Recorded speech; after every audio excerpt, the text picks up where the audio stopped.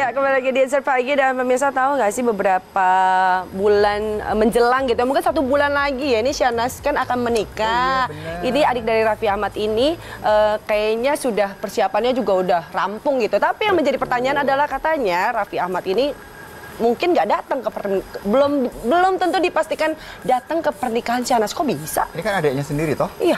Raffinya nggak datang? Nah, nggak ngerti juga ke mana? Syuting kali. Uh, Tapi masa syuting lebih penting dari adik nggak mungkin. Pasti datang Raffi. Raffi itu ke temen aja gokil-gokilan banget gitu loh untuk mengusahakan semua Hmm. buat temen, apalagi buat adik ya kan? Iya. Syuting mah ditinggal. Mah, Harusnya. Harusnya sih ya, Ya, tapi atau kalau enggak dia datang sebentar terus dia pergi lagi mungkin. Tapi ya Boleh. kalau menurut aku pasti seenggaknya ada lah dia akan nikahnya atau gimana. Udah Iya. nanti aja lah ya, masih berapa aja. bulan gitu Betul kan. juga. Dan bicara soal uh, selebriti-selebriti kita nih, ada satu berita juga yang mungkin cukup mencengangkan.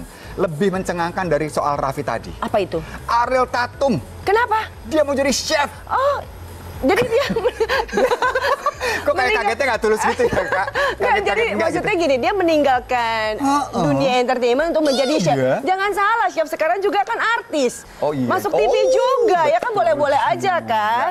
Eh, Boleh, tapi kalau boleh, boleh, boleh, yang boleh. namanya eh, hijrah gitu ya, ini juga ada eh, Ricky, Meriska ya? bukan Oh, oh, Ricky Harun. Ricky, Ricky Harun. Iya, iya, katanya iya, iya, sekarang iya. eh, lebih memperdalami ilmu Al-Quran gitu, Ah, belajar Al-Quran gitu. terus. Eh tapi tadi siapa Cut Meriska? Meriska. Itu katanya mau nikah, lagi ta'aruf juga. Ta'aruf sekarang ini ceritanya. Kan tak kenal maka ta'aruf. Eh, Ya makanya kan dicoba deh kalau gitu.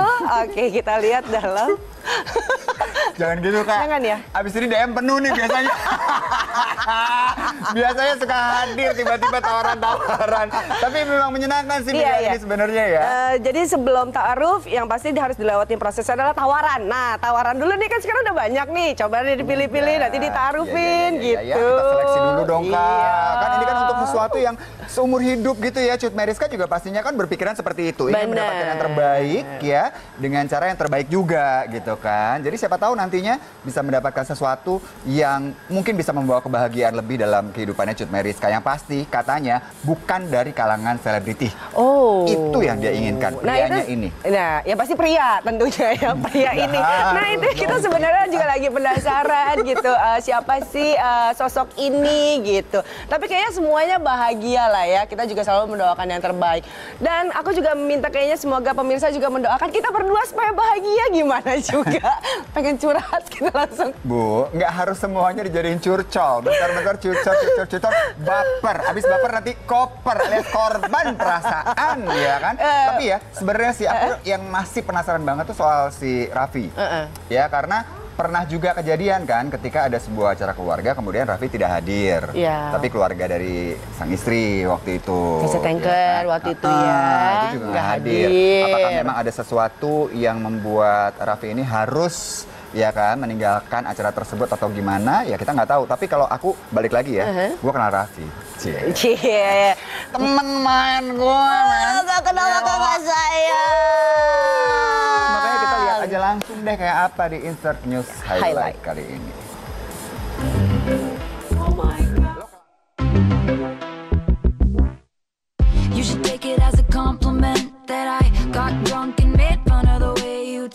Biasanya para artis memilih untuk berpacaran sebelum melenggang ke pelaminan. Namun berbeda dengan artis Cut Meriska, meski tengah dekat dengan seorang pria, ia mengaku tidak berpacaran dengan sang kekasih.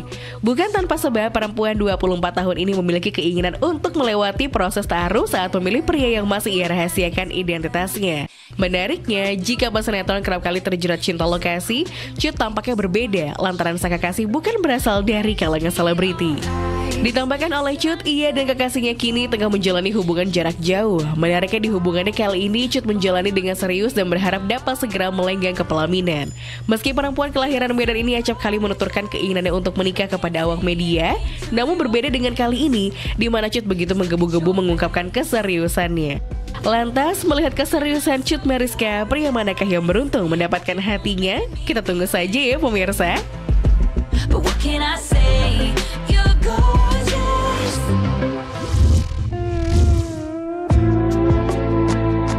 Belakangan sudah banyak selebriti yang berhijrah dan memperdalam ilmu agama. Hal ini juga tengah dilakukan oleh Ricky Harun saat ditemui beberapa waktu yang lalu suami dari Harfiza mengakui ketertarikannya mendalami agama Islam yang berawal dari sebuah ajakan. Alih-alih menghindar, Ricky semakin getol untuk mendekatkan diri kepada agama dan ingin mengenal lebih dalam mengenai kitab suci Al-Quran. Ricky merasa selama perjalanan hijrahnya ia menemukan jawaban yang dicari dalam Al-Quran. Lebih lanjut, keikutsertaan yang mendalami ilmu agama tak lain untuk memperoleh manfaat di mana dirinya bisa menjaga diri. Meski belum 100% berhijrah, Ricky berujar ini merupakan sebuah awal untuk menjadi lebih baik lagi. Belakangan Ricky Harun kerap mengikuti kajian bersama Ustadz dan membahas seluk-beluk agama Islam. Bisa jadi di dunia barunya kini Ricky telah menemukan kenyamanannya dari pembelajaran agama tersebut. Dengan mengingat Allah Hilanglah semua kegelisahan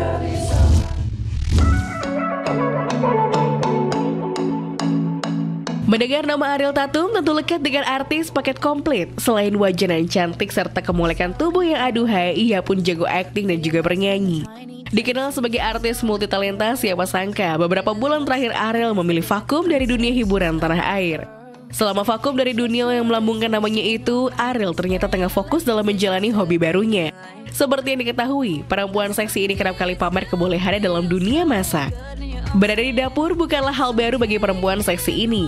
Sejak kecil ia sudah dikenalkan dengan suasana dapur dari orang tuanya. Maka tak heran jika hobi memasak ini selalu menjadi hal penting lantaran masak sebagai obat terapi untuk menghilangkan rasa stresnya. Jika memiliki waktu luang, Ariel selalu menyempatkan diri untuk terjun ke dapur dan mencoba membuat makanan western ataupun masakan khas Indonesia. Tak ayal dengan hobinya ini, ia kerap kali ditawarkan untuk membuka bisnis kuliner. Namun sayang, kelihayannya dalam memasak tak membuat Ariel merasa ingin membuka bisnis kuliner. Ia beranggapan hobi adalah hobi dan tak mau dijadikan sebuah pekerjaan.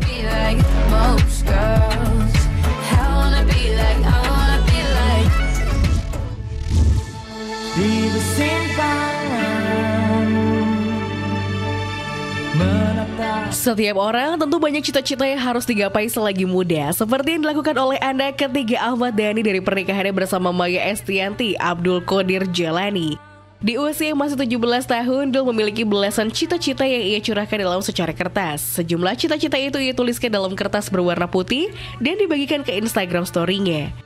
Dari sederet cita-cita tersebut, Dul mencatutkan keinginannya lulus sekolah menengah atas sebagai daftar pertamanya. Disusul dengan keinginan Dul yang ingin menjadi musisi terbaik di Indonesia. Sementara menjadi penyair dan penulis buku berada di urutan ketiga. Menariknya, dari 12 daftar cita-cita tersebut sepertinya Dul memiliki keinginan untuk menikah di usia muda.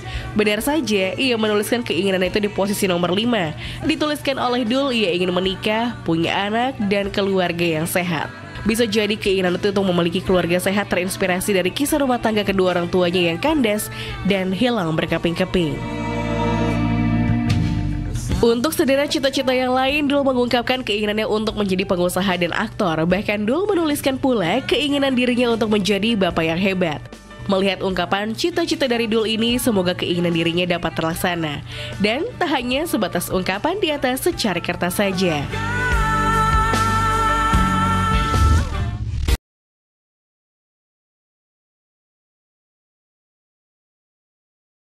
Tak lama lagi adik kecil Syahna Sadika akan segera melepas masa lajang bersama dengan JJ Govinda. Tentu sebagai kakak, Raffi harus hadir di momen bahagia sang adik yang akan digelar di Bandung pada April mendatang.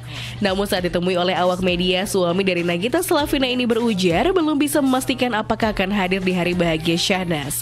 Bukan tanpa sebab, keraguan Raffi ditengarai lantaran pada bulan itu ia tengah gencar untuk melakukan promo film terbarunya. Lantas, melihat kesibukan yang terus menghampiri, apakah Raffi akan absen di hari bahagia sang adik nanti? Kita tunggu saja ya pemirsa.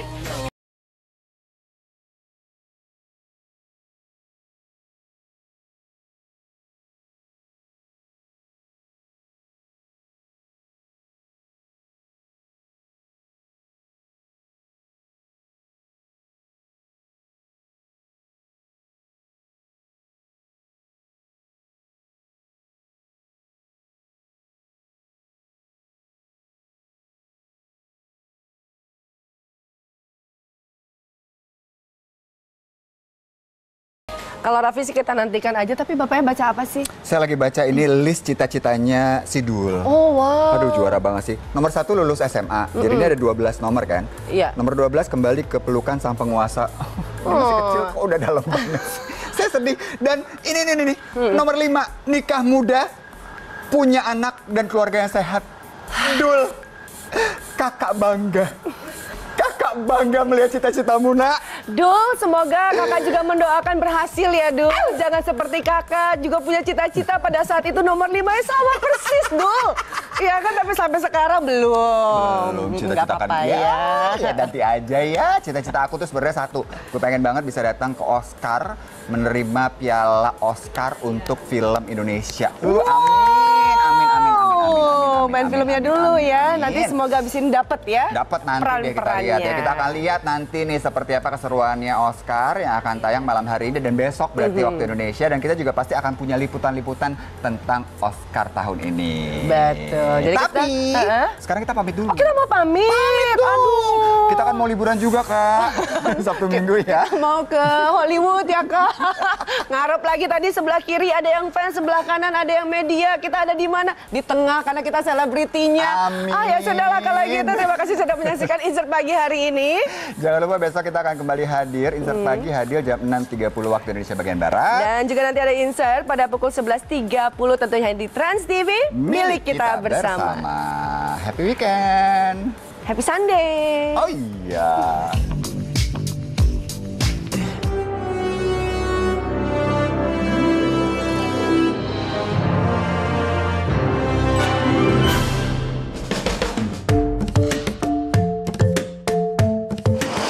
Pemirsa insert dari ajang Academy Awards tepatnya di depan gedung Dolby Theater. This is VOA Oscar Week. Oke, ada sekitar 341 film yang diperhitungkan oleh American Motion Pictures Arts and Sciences atau AMPAS dan film-film ini masuk dalam 24 kategori untuk memperebutkan Oscar tahun ini.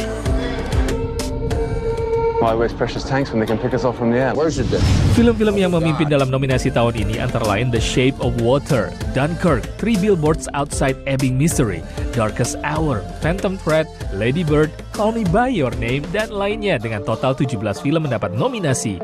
Nominasi aktris dan aktor untuk kategori peran utama dan peran pembantu selalu menjadi perhatian. Para aktris seperti Sally Hawkins, Margot Robbie, Saoirse Ronan, Frances McDormand, Mary J. Blige, Octavia Spencer, Alison Janney, dan aktris lainnya diperkirakan akan membuat kejutan. Aktor kawakan dan nama baru juga bersaing seperti Daniel Day-Lewis, Gary Oldman, Denzel Washington yang bersaing dengan Daniel Kaluuya dan Timothy Chalamet. Sementara William Dafoe, Woody Harrelson, Richard Jenkins juga bersaing dengan aktor tertua Christopher Plummer dan aktor favorit Sam Rockwell. Lady with a funny eye. Gimana seru banget kan tadi nominasi-nominasinya dan untuk kategori sutradara kita ada Christopher Nolan, Greta Gerwig, Jordan Paul Anderson dan juga Guillermo del Toro. Kalau buat kalian siapa sih yang favorit? Oke, kita tunggu aja siapa yang akan menang Oscar. Saya Ian Umar dan Laurentius Wahidi dari Hollywood untuk Insert.